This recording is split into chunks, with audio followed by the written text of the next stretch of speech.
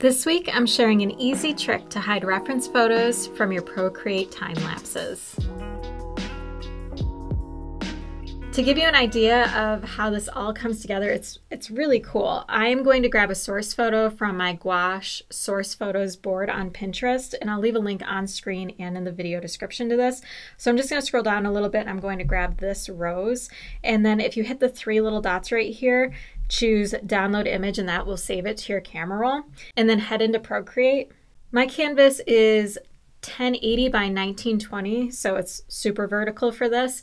And what you want to do is when you go to insert the reference photo, you're going to hit the wrench, add, and then where it says insert a photo, drag this over and you'll see something that says insert a private photo and choose that and then select that photo that we just saved to our camera roll. Okay, I just brought this in as a private photo, so now I can enlarge it, reposition it, use it the exact same way that you would a regular reference photo. So I'm going to speed up the video and I'm just going to create a gouache style painting of this.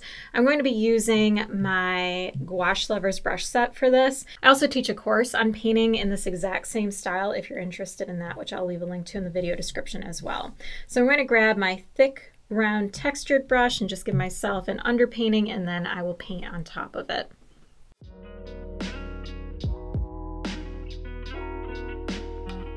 I'm switching to the streaky semi-transparent brush for all of the details for the rose.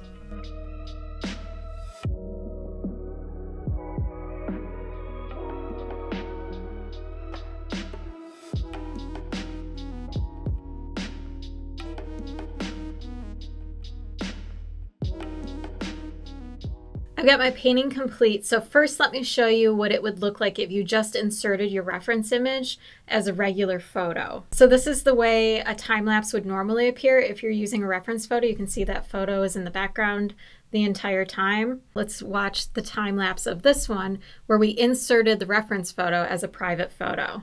It looks like it is painted from scratch without any reference photo needed. So it's a pretty cool trick. I especially like using this with line art and illustrations like with gouache and watercolor. If you enjoyed this quick tip, hit the like button, subscribe, and I will see you next time.